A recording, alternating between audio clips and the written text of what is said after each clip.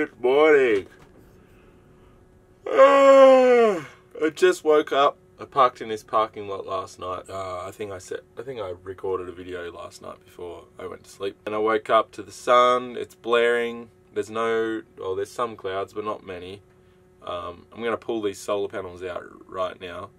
Um, there's a bunch of wind outside. It's pretty strong. So excuse me because I'm really just literally woken up and I'm super tired. So probably don't look or sound very handsome right now. But anyway, I'm uh, I'm gonna I parked the nose of the van into the wind, and I'm gonna see if that uh, helps. I don't really want to lose some solar panels to the wind right now. So anyway, I'm gonna pull these solar panels out, and I am gonna see how they go.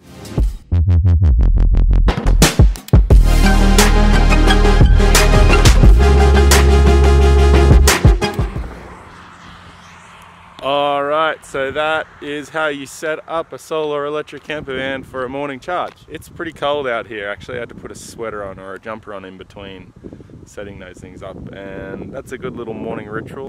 Feeling alive. Actually, I might go back to sleep because I'm pretty tired still. What I am worried about is all these clouds hanging around. There's that big one hanging on top of that mountain there that I think may come over top of us at some point in time. But hopefully we don't get smashed by any clouds back here. Look at that beast. Second sun charge. Woo! Let's see what we can do. Let's see what we can get today.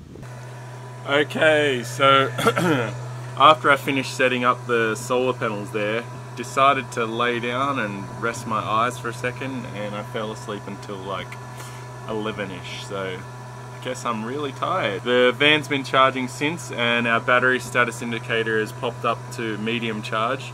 So what I decided is I'm going to cook breakfast, chuck the van on charge and see how much charge I can pull from my secondary battery. But right now we're pulling close to 3 kilowatts of, of power. I'm going to zoom in there and see if you can see. 2.7 with an average of 3.4 kilowatt. We have 3.4 kilowatt hours of energy coming into the battery there. I need probably another maybe 30 kilowatts to get to my next destination. I don't know, it's kind of hard to say, but um, God, this this camera is playing up. So the whole, yeah, that whole equation's pretty hard to juggle around right now. I need to go about another 37 miles, which means I need a bit, probably between a quarter and half a tank of uh, electricity. So um, it sounds so funny talking about tanks of electricity, but uh, that's what we're dealing with here. I am going to cook some breakfast um, and I'm going to explain to you what's going on there because that's really funny as well. And then I will put the van on charge and see if I can't put some of that energy into my drivetrain battery. So I bought uh, this Aventi induction cooktop heater. Kira Beelan was kind enough to set me up with a bunch of pots and pans. And I remember thinking, oh, don't you have to have specific pans for these cooktop? And she said, no, no, no, it's going to be fine. So yeah, I tried to put the pans on and I got this code and I read the manual and the manual says, you need to use specific pans. Put a magnet on the bottom of the pan and if, if it's magnetic, it'll work. And if it's not magnetic, then it won't work. So I did and none of my pans are magnetic. However, I do have stainless steel plates and bowls and now they're not the most magnetic uh, things either, but they work. I just tried one before and it got scorching hot instantly. So I'm gonna try cook myself some pancakes here. I have a bunch of Krusteaz pants pancake buttermilk mix. Alright, so here's my attempt at making pancakes. Um, they're not really the most beautiful pancakes, but I reckon it's gonna taste delicious. I hope uh, I hope my cooking gets better over this trip.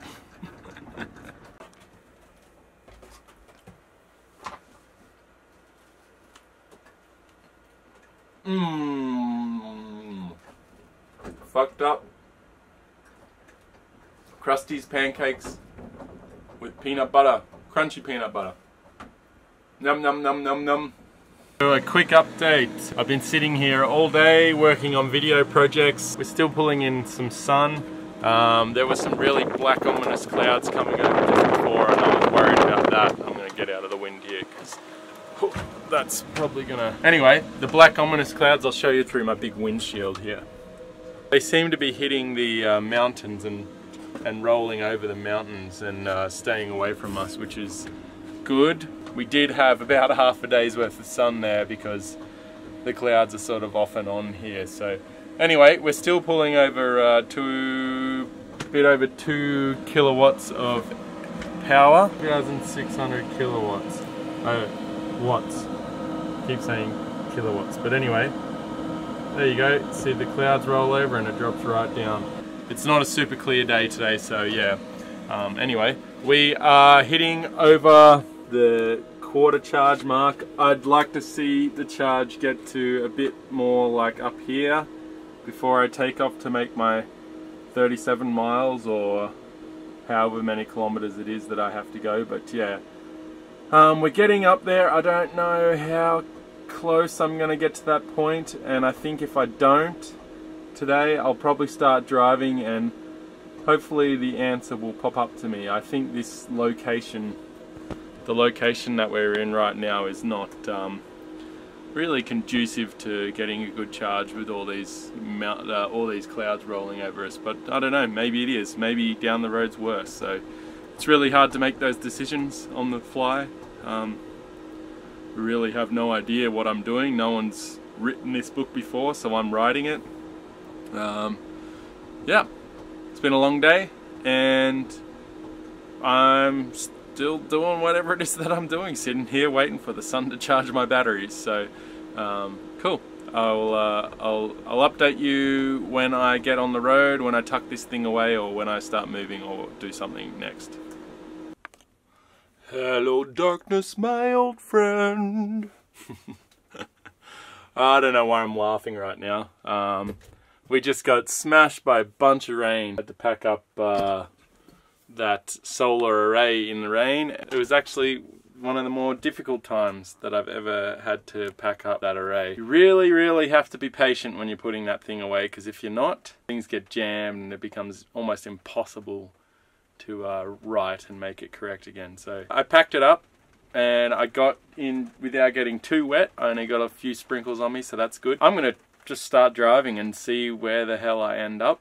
Hopefully um, I end up in a place close enough to Haines Junction where I know I can get a charge from either an RV spot or uh, my friend who I met the other day. I am I'm gonna go. I think I've got a little bit over a quarter of a tank.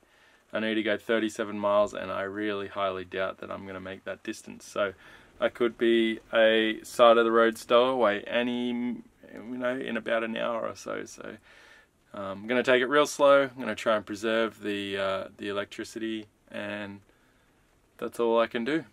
So bear with me, and I will update you whenever that is done. Okay. Don't know why I'm smiling. Kind of good news and bad news. Um, good news is I made it to Haines Junction. Bad news is my cell phone still doesn't have service. I don't know why that is. Maybe it's something to do with Canada and the US not having cell connection. I don't know. I've got to sort that out. Uh, so I decided I'd come to a campground and try and get a charge through the campground. So I paid the guy, went in, and they only have 30 amp 110 outlets. So I can't get a charge because me and Brett had this problem already. Um, for some reason the frequency, it should be 60 hertz. We're getting nothing. We're getting no frequency whatsoever through the uh, the campgrounds here. So I have to do some research and I can't do any research because I don't have a phone that works and but the good news is on a rainy, cloudy, intermittent sunshiny day I still did nearly 40 miles um, just off the sun's energy. So if there's one thing to look up to or to be happy about, that's probably it. Other than that, I'm going to sleep because I am so tired and uh, yeah, just a little bit anxious here because I need to get a charge and I need to keep moving northward if I'm going to be able to achieve this thing. Um, potentially, I turn around and I head south from here. Um, I get into contact with a few people and solve a few problems. Um, this is the first time I'm saying this out loud, even though it's just me and I'm the only one talking to me. Um, I think that's a big deal. I kind of really want to get up to the Arctic Circle. I think that would be such a, an epic statement uh, to make in this vehicle. Um, but after today's weather, it kind of scared me a little bit into thinking maybe that's not such a good idea. Excuse me. Maybe that's not such a good idea. Um, getting stuck in the Arctic Circle when it starts raining and for weeks at a time potentially, you know, might not work for us. But anyway, I said I was going to go to sleep about two minutes ago, uh, about a, 30 seconds ago, a minute ago, whatever, however long ago I said I was going to go to sleep. So now I'm going to actually go to sleep and wake up tomorrow and sort this charging situation out. Um, gotta smile. Alright, I'm going to bed. Good night.